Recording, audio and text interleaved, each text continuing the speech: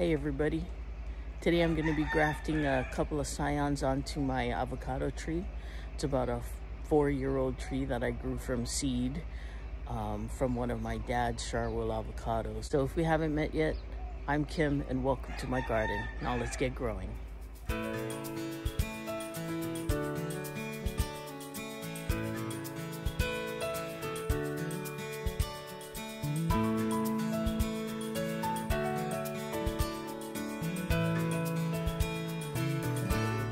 Today I'm going to be grafting two scions um, of a Sharwil avocado from my dad's tree um, onto my avocado tree here, which I grew from seed from a Sharwil avocado from his tree.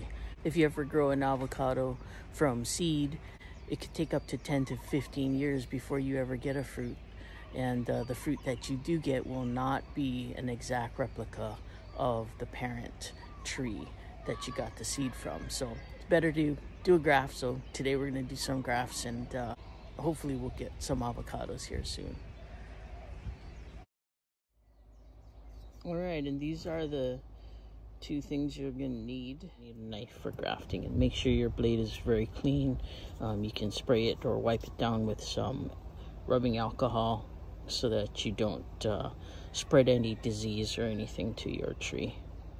And you'll need some of this parafilm tape. I just bought it off Amazon. It's grafting tape and just protects your scion um, and the joint that you made um, from the elements while the graft is healing. You have to wrap the scion with this parafilm tape, the grafting tape. You kind of have to pull it taut as you wrap it so that the tape sticks to itself and protects the scion from the elements while the graft is taking.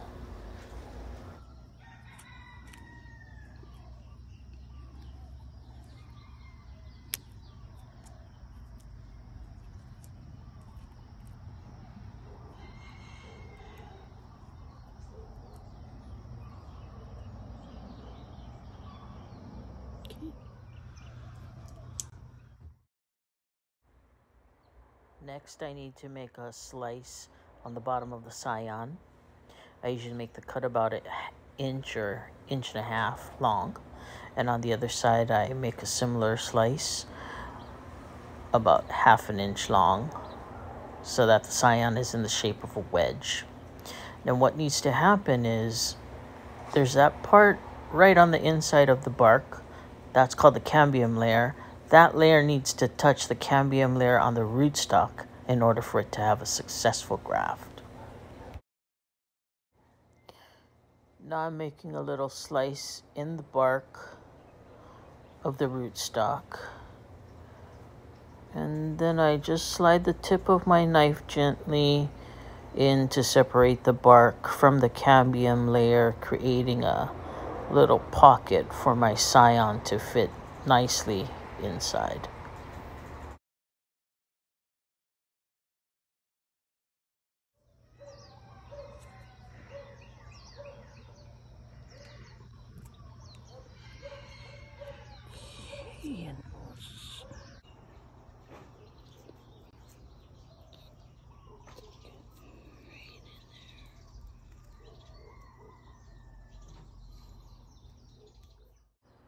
And then once we fit our scion neatly in the pocket, we take our parafilm grafting tape again and we have to wrap and secure the scion onto the rootstock. And here it is all wrapped up and protected from the elements. And when those little new leaves come out, they'll just burst right out of the parafilm tape.